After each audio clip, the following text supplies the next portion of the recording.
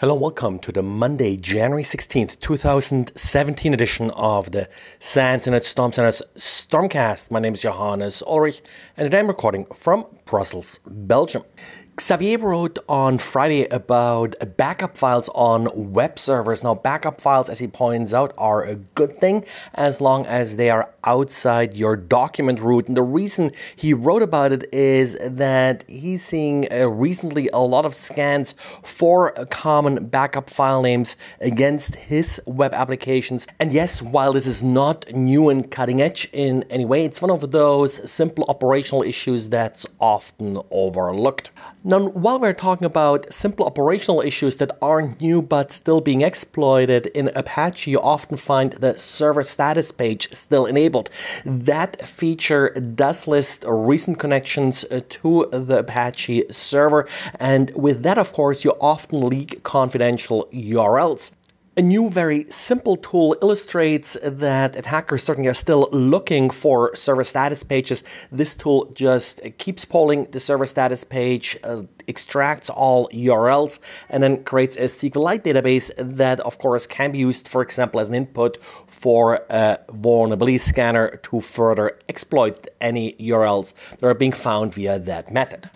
And last week, there was a big article in The Guardian about a possible weakness in the encryption of WhatsApp. Now, WhatsApp uses the same protocol as Signal, and of course, both tools are heavily used by individuals individuals who are trying to hide their conversations from governments. Turns out that this particular weakness actually was discovered and discussed first back in April 2016, so a little bit less than a year ago.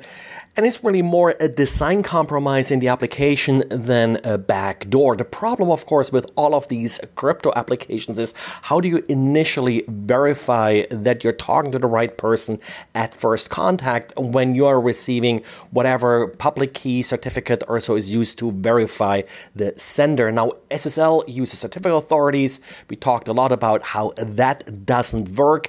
With WhatsApp, you have the option once you meet the other party in person to compare a security code that is being created by the application. So let's assume that you met that person, you compare the security code, everything is good, or you have some history communicating with that person and established that way that the key they're using is correct and authentic. Now, the next thing that may happen is that your communication partner has to reinstall the application. Now, when you reinstall the application on a new device, of course, a new key pair is created, the public keys again sent to WhatsApp.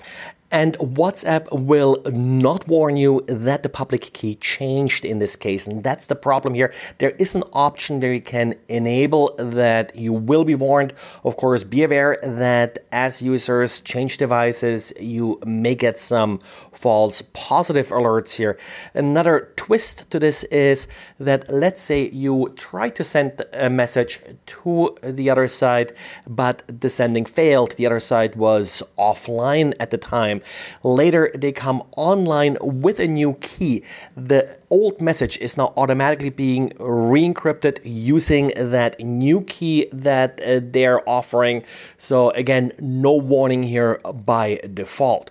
Simple fix here, enable these warnings. And of course, you always should be very careful in verifying these keys the first time you use them to make sure that you're communicating with the right individual. Same problem with SSL. In SSL, if you're clicking the I'm okay with the invalid certificate message, then of course you have no guarantee that someone didn't replace uh, the key in a man in the middle situation. These attacks, however, do not allow an attacker uh, to decrypt past communication. So this would only then affect messages being sent after a malicious key is introduced. When we're talking about defense in depth, we're often talking about network devices, but of course that concept also applies to software. And Microsoft has an interesting article how some of the defense in depth techniques that were introduced in Windows 10 Anniversary Edition did fool recent Zero Day exploits. They're looking at two vulnerabilities that were patched last November and then look at how Windows 10 Anniversary Edition would prevent exploits that were released against those vulnerabilities from running. It's a pretty nice insight into sort of the inner architecture of Windows 10 from a defensive point of view. I would in particular recommend that developers uh, read this in order to better understand what can and probably should be done in order to prevent exploits from working.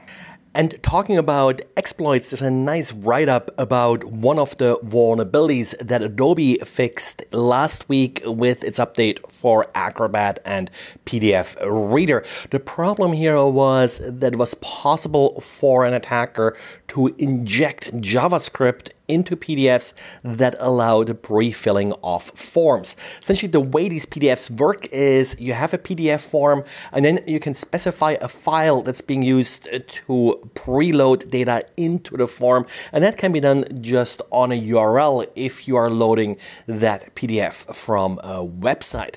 So with that pre-fill file, of course, you can now inject JavaScript into the PDF and with that you are open to all of the different JavaScript exploits.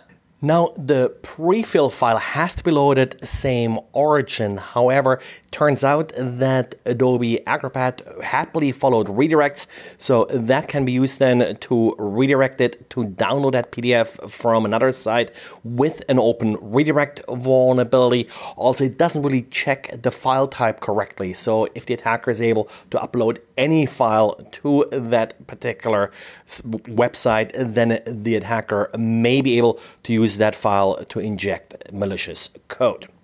Well, that's it for today. Again, remember Monday evening we do have our community night here at SANS Brussels. So if you're in the area, uh, feel free to stop by and listen uh, to Didier talk about some of his work.